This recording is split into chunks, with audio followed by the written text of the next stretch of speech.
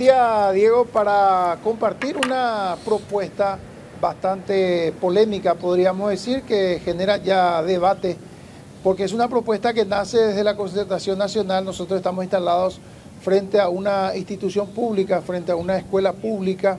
¿Por qué estamos instalados aquí? por lo que vamos a hablar del tema.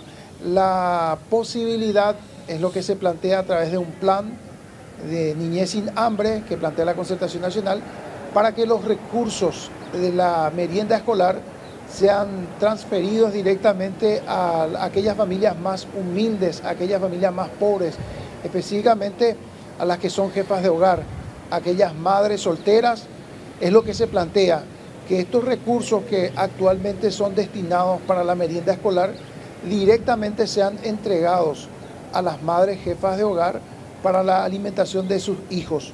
Estamos hablando de un monto mensual de 200 mil guaraníes, es lo que se plantea a través de este programa. ¿Con qué fin, con qué objetivo? Tratar de combatir los hechos de corrupción que se dan lastimosamente cuando estos recursos son administrados por los municipios, por las gobernaciones, y lo que se pretende con esto es que ese dinero vaya directamente a parar en manos de, de las madres y que las madres se encarguen de alimentar a sus hijos. Es una propuesta que ya está generando debate, más aún teniendo en cuenta también que hay muchos municipios y gobernaciones que tienen los recursos, por ejemplo del FONACIDE, pero que no utilizan estos recursos en favor de los estudiantes. Hay muchas, muchas intendencias, muchas gobernaciones que tienen dinero en las cuentas y no se utilizan para las mejoras edilicias de una institución educativa, por ejemplo.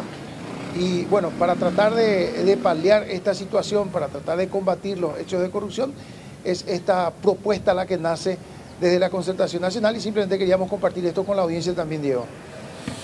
Gracias, eh, Claudio. Vamos a estar ampliando entonces sobre este proyecto también Niñez sin Hambre, porque empieza una discusión que va a ser interesante.